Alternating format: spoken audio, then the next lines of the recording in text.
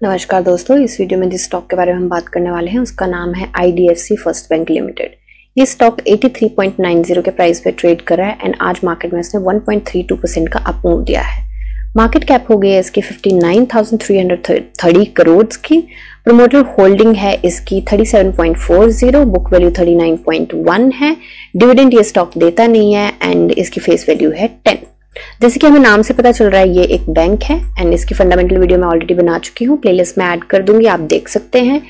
इसके, अभी शॉर्ट में बात करें तो देखिए, इसका ये स्टॉक जो है अभी बिल्कुल फिफ्टी डीएमए के ऊपर ट्रेड कर रहा है बिल्कुल उसके पॉइंट पे है एंड टू हंड्रेड डीएमए से ऊपर ट्रेड कर रहा है। सो so, देखिए यहाँ पे ना एक छोटा सा वो देखा गया है कि ये टू हंड्रेड डीएमए से ये फिफ्टी डीएमए को छोटा सा इसने रेजिस्टेंस बनाया हुआ है। टू हंड्रेड डीएमए को ये टच करता है फिर मूव देता है फिर टच करता है फिर मूव देता है फिर टच करता है एंड अभी ये हो सकता है कि क्योंकि वॉल्यूम भी काफ़ी अच्छा है तो हो सकता है कि ये प्राइस और फिफ्टी डीएमए का गोल्डन क्रॉस हो जो कि एक बहुत अच्छी बात रहेगी। पी रेशो की बात करें तो पी रेशो मीडियम से नीचे ही है तो ये काफ़ी अच्छी बात है। अभी सेल्स एंड मार्जिन की बात करें तो ग्रॉस प्रॉफिट मार्जिन काफ़ी अच्छे तरीके से इंटैक्ट है and sales quarter and quarter increase हो रही है। अभी चलते हैं हम चार्ट पे। तो देखिए फ्राइडे को हमने जो वॉल्यूम देखा था, वो था 36 मिलियन का एंड आज जो वॉल्यूम है, वो है 66 मिलियन का।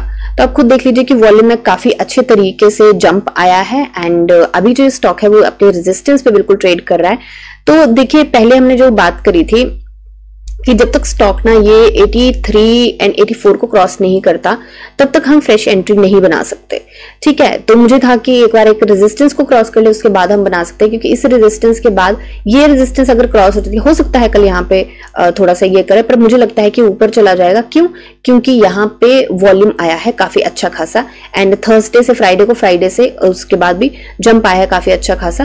तो देखिए, यहाँ पे एंट्री की बात करें तो entry long term short term मुझे लगता सकता है दोनों के लिए मैं होती तो मैं यहाँ पे बना लेती। उससे पहले एक बार हम कंफर्मेशन पहले एक बार चलेंगे बीएससी पे। इसका प्राइस बैंड है टेन का एंड एक न्यूज़ आई है जो कि मैंने यहाँ पे ओपन कर रखी है। तो बेसिकली इसमें यही बोला है कि बैंक ना कुछ एलिजिबल इंप्लॉयज को कुछ वो शेयर्स दे रहा है एंड फेस वैल्यू जिसकी टेन है, क्योंकि अभी फेस वैल्यू इसकी टेन है एलिजिबल इंप्लॉयज को दे रहा है। एंड जो शेयर्स के नंबर्स हैं वो हैं thirteen lakh sixty one thousand one hundred eighty five equity shares of face value ten तो ये अपने एलिजिबल इंप्लॉयज को दे रहा है एंड उसके बाद पहले ये वैल्यू है, इतने शेयर्स हैं एंड उसके बाद हो जाएगी ये सॉरी इतने हो जाएँगे एंड पहले ये वाली वैल्यू थी, ठीक है? तो ये है इसमें मेंशन किया हुआ। एंड uh, ज़्यादा कुछ ऐसा नहीं है कि जिसके इसके प्राइस पे अप एंड डाउन मूवमेंट में किसी भी तरीके का फ़र्क पड़े। सो so, बेसिकली यहाँ पे देखा जाए तो मुझे लगता है कि अभी ये स्टॉक थोड़ा सा जाने को तैयार है। क्योंकि अगर आप देखेंगे तो बैंक सेक्टर सारा ये तो चलो पहले ही भाग गया था। इसने काफ़ी अच्छे आप देख सकते हैं कि काफ़ी अच्छे मूव दिए हैं इसने।